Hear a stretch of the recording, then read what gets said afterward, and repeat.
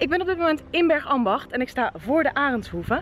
En ik mag hier vandaag een proefbruiloft meemaken. Nou heb ik geen idee wat ik kan verwachten.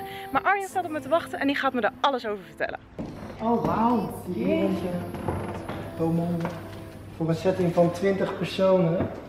Uh, onze capaciteit gaat voor een diner, dus als daggasten zijn, tot een, uh, tot een capaciteit van 100 personen. En uh, ja, de, de, feestavond die je zo meteen zal zien, ja, daar kan er een capaciteit in tot 200 personen. 200 mensen, ja gezellig. Ik weet wel waar ik mijn bruiloft ga houden. Prachtig stel dit, een echt plaatje. Gefeliciteerd!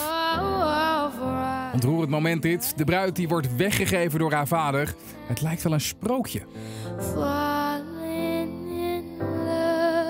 Jullie deze vlog nou ook zo leuk hebben gevonden als dat ik het heb gevonden, vergeet dan niet te stemmen via rtl.nl slash de beste van Nederland.